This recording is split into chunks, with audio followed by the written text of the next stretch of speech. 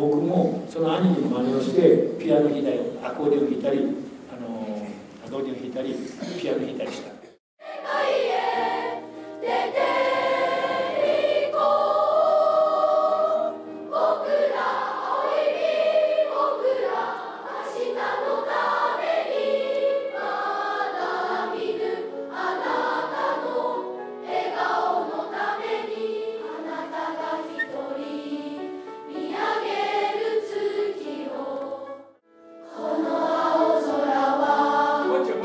けてもう一回やって。今何かあったらそのこの青空の中で一番大事な言葉青空だよ。このじゃないよね。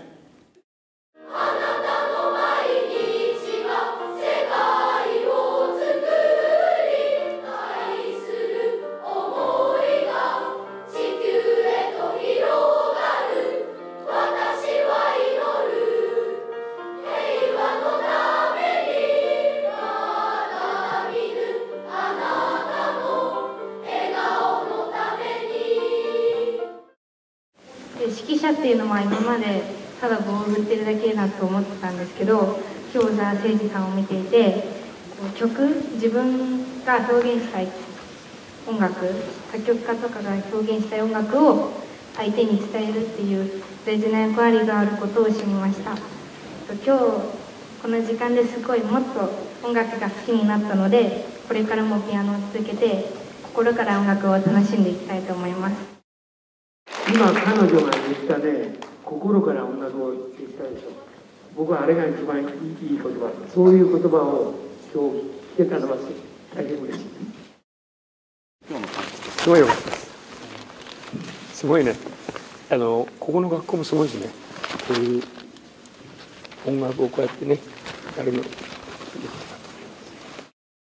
340人の子どもたちが今日先生から教わったんですけども。340人？え340人が5年生と6年生で。もうもし先生この中からまた先生に継がれるような方とかどうですか？ね期待は？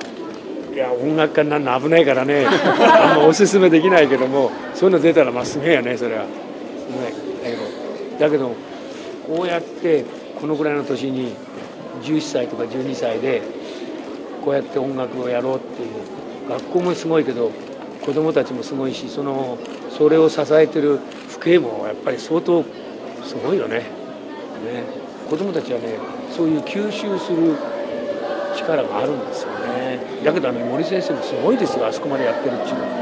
あのねプロから言わせると本当にすごい。もう僕がやったのは本当に上積上積みなんていうの上積みっていうの？一番上のあのね。上積み女房がちょっと格好つけたらもうもう基本はできてますから。また来てみたい僕は。うん。また来てみたい。